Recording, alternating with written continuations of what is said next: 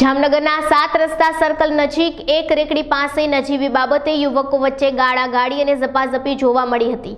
આ ઘટના બાદ બંને મિત્રો નાસી ગયા હતા આ મામલામાં. આરોપી દ્વારા ગેર જીવલેણ હથિયાર વડે હુમલો કરવામાં આવ્યો હતો. ત્યારે આ ઘટનાની જાણ પોલીસે મૃતકની સાથે રહેલ યુવકની ફરિયાદ નોંધી આરોપીને પકડી પાડવા જુદી જુદી ટીમ બનાવી તપાસ હાથ ધરવામાં આવી હતી.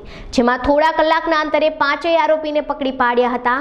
એલસીબી પોલીસે આરોપીઓને પકડી પાડી સિટી સી ડિવિઝન પોલીસના હવાલે કરવા કાર્યવાહી હાથ ધરી છે. પાંચોનો મેં પકડી લીધો છે. અને એની આગળની રિમાન્ડની કાર્યવાહી કરવામાં આવશે. વેપન પણ એના પાસેથી રિમાન્ડ દરમિયાન રિકવર કરવામાં આવશે. અને એક કલાકની અંદર બે કલાકની અંદર અમે બધા આરોપીઓનું પકડી લીધું છે.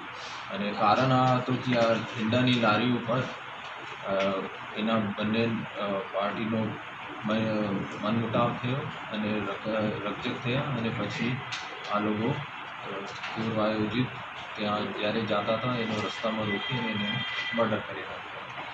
અને હું ફરીથી મીડિયા મારફતે કહું છું, અને થાના ઇન્ચાર્જનો પણ હવે કડક સૂચના નાઇટમાં આપી છે, જે ઈંડાની લારીઓ છે અગર લારી ચલાવવા માંગે છે અને દુકાન ચલાવવા માંગે છે, તો એની પણ જવાબદારી છે.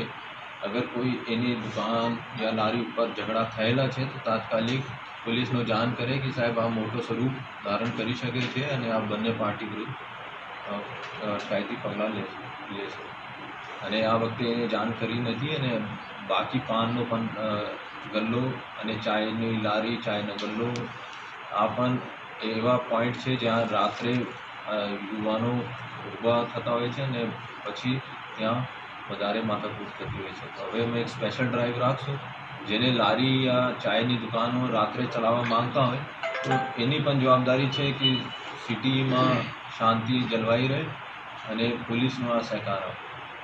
સર સેનાથી હત્યા કરવામાં આવી કોઈ હથિયાર ક્યાં વાપર્યું? આ હથિયાર છે ચક્કુ છે અને તલવારો છે. અને આ પણ રિમાન્ડ દરમિયાન એનું રિજેક્ટ કરવામાં અત્યારે આ તપાસ થવાની છે જે એની ગાડી નંબર અમે મળી ગયા સાત રસ્તા ઉપર. ગાડીથી અમે ટ્રેક કરી ગાડી કોને નામ પર છે એનાથી અમે